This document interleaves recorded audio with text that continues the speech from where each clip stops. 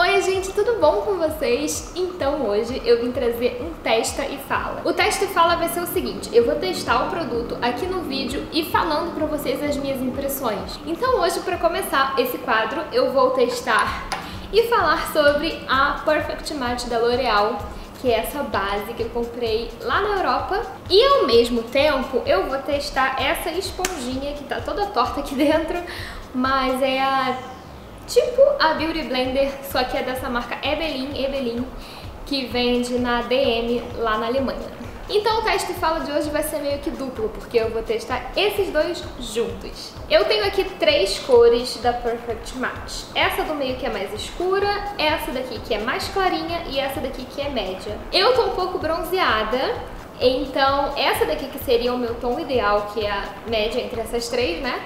É, tá, tá bastante clara pra mim. Então, a do meio é muito escura e essa daqui é muito clara. Então, o que eu vou fazer? vou misturar um pouquinho dessa que é a média e dessa que é a mais escurinha pra tentar dar o meu tom ideal. Bom, então como que eu vou fazer? É, antes de tudo eu vou dizer que eu gosto mais de usar esponjinhas assim, úmidas. Então eu vou umedecer com um pouquinho de água termal. Essa é da Vichy, daquelas pequenininhas. E eu vou umedecer com água termal. Aí aqui no dorso da minha mão eu vou colocar um pouquinho de cada uma dessas duas bases. Essa é a 7D barra 7.W e essa daqui é a 2N. Então eu vou misturar essas duas. Vou misturar com o dedinho mesmo, tá? Legal se você for fazer em cliente, misturar na sua paletinha e tal, mas neste caso não precisa. Ó, já tem um tom mais ou menos do tom da minha pele, né? Então eu vou pegar com a própria esponjinha e vou começar a aplicar dando batidinhas no meu rosto.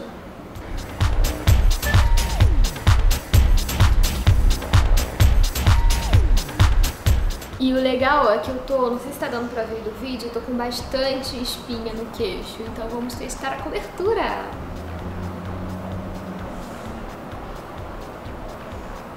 Olha, ela é uma base que não tem uma cobertura muito alta não. E essa misturinha ficou exatamente o tom da minha pele, gente. Não sei se daí tá dando pra ver.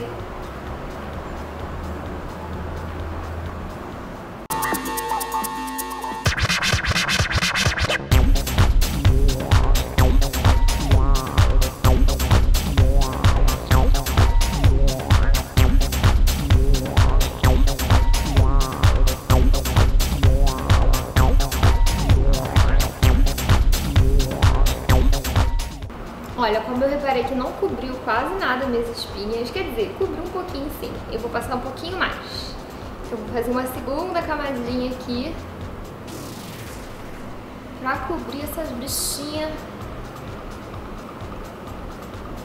que se apossaram do meu rosto, gente. Então aqui na minha mão acabou, vou fazer mais um pouquinho da nossa misturinhos básicos.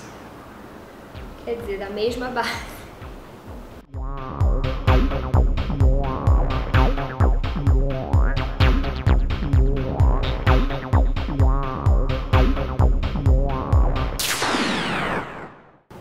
Eu já tô reparando é que a cobertura dela não é daquela que fica um aspecto pesado, pelo contrário, nem parece que eu tô de base, gente. Gostei, acho que eu gostei dela. Vou botar uma segunda camada aqui nas olheiras.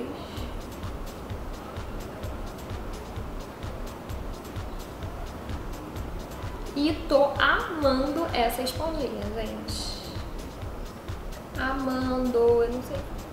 Então, eu tô praticamente fazendo uma segunda camada em todo o rosto. É... Pra cobrir bem.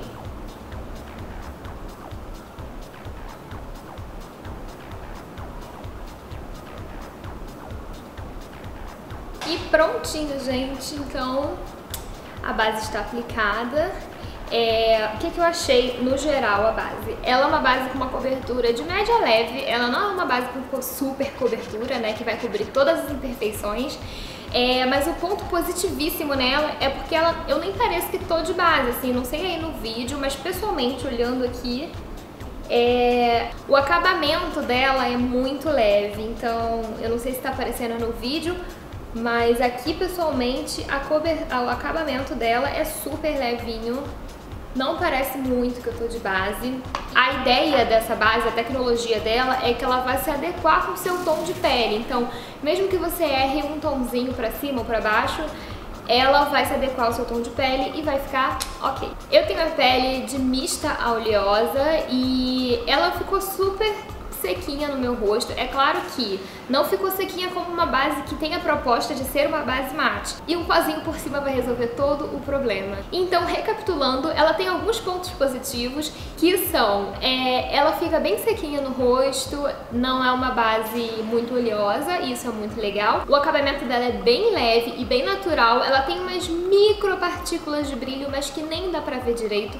Só para dar aquele viço, você pode ver que ela não fica aquela base chapada, o que é uma proposta mais das bases mate, que eu também gosto, mas eu, tô, eu amei essa, essa proposta de uma pele mais é, viçosa, né? Uma pele mais assim como se fosse uma pele bem cuidada e tudo mais. E o ponto negativo dela é que a cobertura não é tão alta, então esse pra mim foi o único ponto negativo. Se eu fosse produzir essa base, eu produziria com um pouquinho mais de cobertura, que aí ela ia ficar muito ok.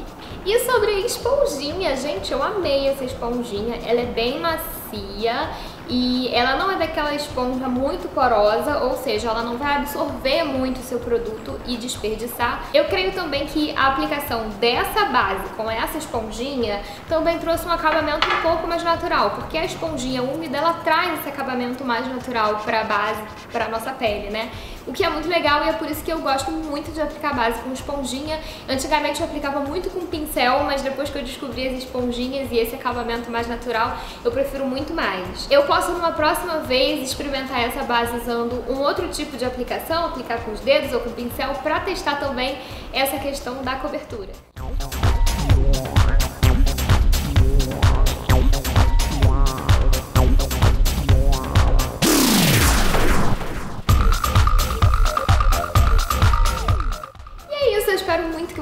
Gostado desse primeiro teste e fala. É, se ele não ficou muito legal é porque é o primeiro, gente, então me desculpem. Eu fiz fotos pro blog para esse post, então confere lá em www.monicayamachita.com.br. Eu vou deixar o link certinho aqui do post aqui embaixo. E é isso, até o próximo vídeo. Tchau!